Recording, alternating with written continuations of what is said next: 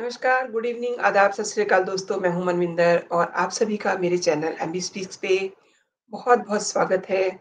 मैं आप सभी का खैर मकदम करती हूँ, अभिवादन करती हूँ।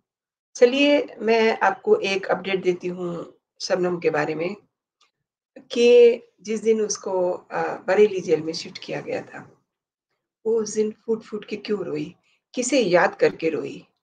मैं आपको वो सारी बात बताती हूँ कि वो किसे याद करके रो रही थी। बरेली में इस समय उसका मन नहीं लग रहा है, सभी को पता है। वहाँ उसकी ना कोई सहेली है, ना कोई इससे बात करने वाला है। वो इस समय निहायत तन्हाई के दिन काट रही है। अ, उसकी वकील से भी यही अ, बात सामने आ रही है। उससे जुड़े हुए सभी लोग काफ़ी चिंतित हैं, परेशान हैं, क्योंकि बरेली जेल में शबनम कंफर्टेबल फ़ील नहीं कर रही है। क्यों नहीं कर रही है? इसकी भी एक वजह है। दोस्तों मैं आपको बताती हूँ कि रामपुर जेल में जिस समय उसकी एंट्री हुई थी उस समय वहाँ उसका अपना कोई सर्कल नहीं था। लेकिन उस जेल में एक नई जेल कर्मी, जेल महिला कर्मी जॉइन करती है, वो उस जेल में उसकी भी तभी एंट्री होती है। वो जेल में पहले तो काफ़ी गुमसुम रहती है, लेकिन धीरे-धीरे उसका अपना एक सर्कल बनने लगता है। सबसे उसे प्यार मिलने लगता है।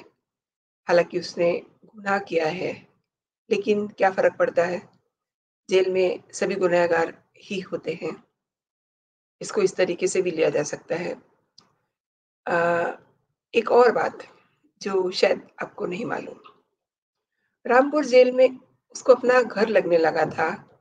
अ, उसके पास सब सीखने, पढ़ने के लिए लोग आते थे और उसको भी ये लगने लगा था कि हाँ, मैं क्वालिफ़ाइड हूँ, मैं पढ़ी-लिखी हूँ, हालाँकि मेरे गुनाह मेरे सिर पे है, लेकिन फिर भी उससे सब बहुत प्यार करने लगे थे। मैं बात कर रही थी कि जिस दिन शबनम इस जेल में पहुँचती है, रामपुर जेल में, उसी दिन एक नई जेल कर्मी ने भी वहाँ ज्वाइन किया। वो महिला कर्मचारी थी सीता यादव।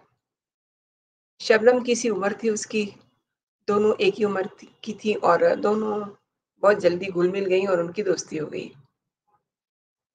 और शबनम एक बेटे को जन्म देती है।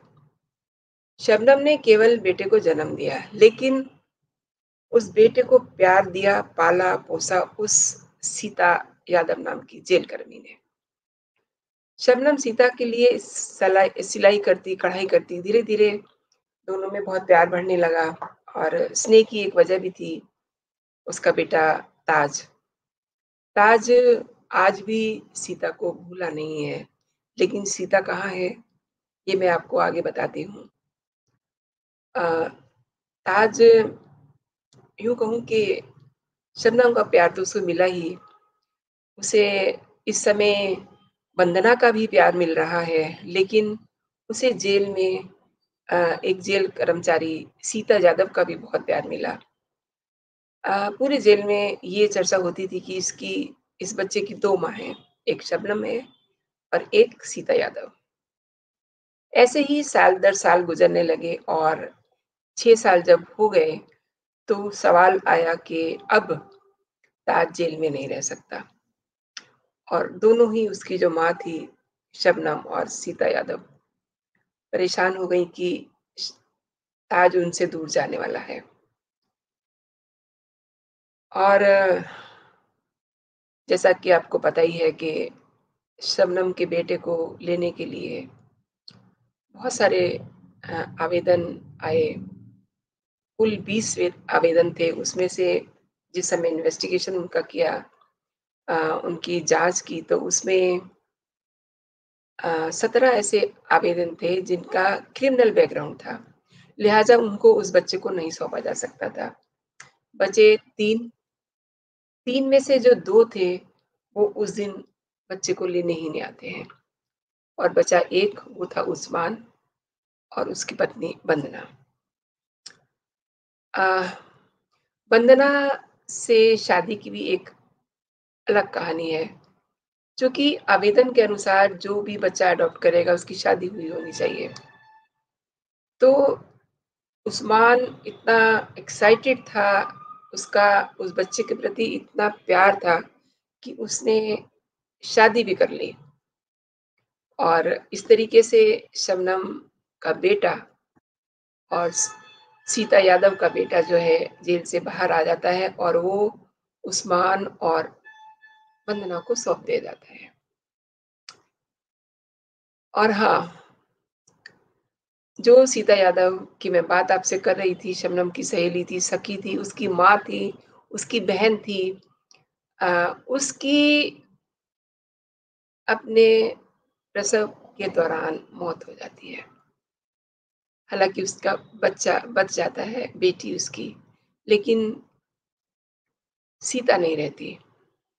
उस दिन के बाद से शबनम की तो जैसे लाइफ ही खत्म हो जाती है वो उजड़ी हुई अपने आप को महसूस करती है क्योंकि बेटा चला जाता है जो उसकी सबसे क्लोज सहेली थी वो भी आ, नहीं रहती। और शबनम को कभी ऐसा दिन नहीं था कोई भी ऐसा दिन जेल में नहीं रहा जब वो सीता याद ना आई हो। सीता का जैसा नाम था वैसा ही उसका व्यवहार भी था। बहुत ही स्नेह करती थी शबनम को। हालाँकि उसे पता था कि ये गुनहगार है। लेकिन जेल में एक पूरा परिवार सा बना होता है तो वहाँ के कर्मचारी भी अपनी ड्यूटी भी करते हैं, लेकिन वो इंसानियत को नहीं भूलते हैं। और अब जब एक मार्च को शबनम को बरेली जेल शिफ्ट किया जाता है तो शबनम बहुत रोती है। उसे लगता है कि उसका कुछ छूटा जा रहा है। दरअसल, जो यादें सीता यादव की उस जेल में उसके साथ रहती थी, सीता यादव के जाने के बाद, वो उन यादों के सहारे उस जेल में थी, रामपुर जेल में थी। अब बरेली जेल में उसके साथ कोई भी नहीं है, उसे अपना दूर दूर तक कोई नहीं दिखता।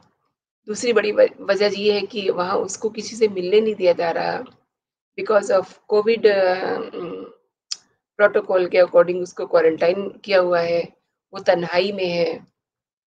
और मैंने आपको सारी बातें बता दी और आपके दिमाग में एक बात ये भी आ रही होगी कि उसका क्राइम क्या था। हर बार उसका क्राइम बताना ज़रूरी नहीं है, लेकिन हाँ पंद्रह अप्रैल 2008 एक ऐसा मनुष्य दिन था, जिस दिन, सात लोगों की हत्या हो जाती है। और उसमें शबनम और सलीम को नामजद किया जाता है। इन्वेस्टिगेशन होती है और लोअर कोर्ट से, अपर कोर्ट से और सुप्रीम कोर्ट से उनको फांसी की सजा सुनाई जाती है, जो फ़िलहाल बरकरार है। और राष्ट्रपति ने इन दोनों की मर्सी पिटिशन को खारिज कर दिया है। इस समय उसकी एक मर्सी पिटिशन प्रदेश के यानी कि उत्तर प्रदेश के राज्यपाल के पास पेंडिंग है। उसमें भी उनके गुनाह को माफ़ करने की अपील की गई है। देखिए लेट्स होप क्या होता है।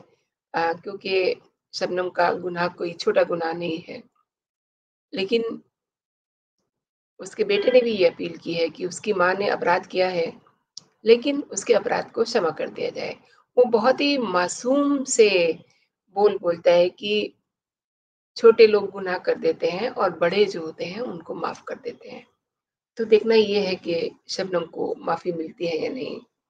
दोस्तों आपको ये वीडियो कैसा लगा? आप मुझे मेरे कमेंट बॉक्स में आ, अपना कमेंट ज़रूर दीजिएगा। और एक बात और अगर अभी तक आपने मेरा चैनल सब्सक्राइब नहीं किया है तो आप प्लीज़ मेरे चैनल को सब्सक्राइब कीजिए।